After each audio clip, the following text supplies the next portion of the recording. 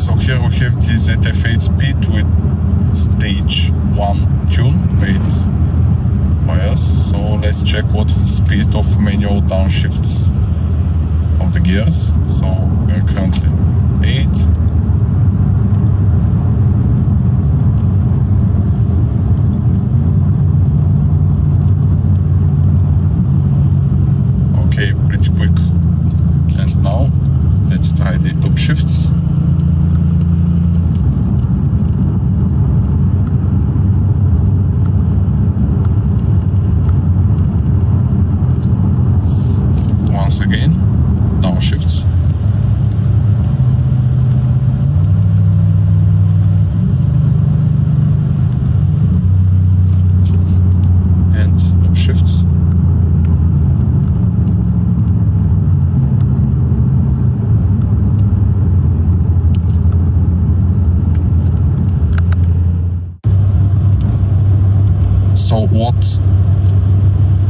have been edited to the software. It's the shifting speed the minimum and maximum shifting speed uh, for the different scenarios. So there are dozens of scenarios shift patterns and for all the shift patterns there are common shift time patterns which are different for every pattern and we are editing those shift time patterns. So all of the shift patterns are affected by this change in the time.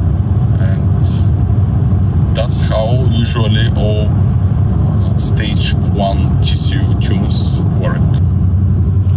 So that's everything for today. See you soon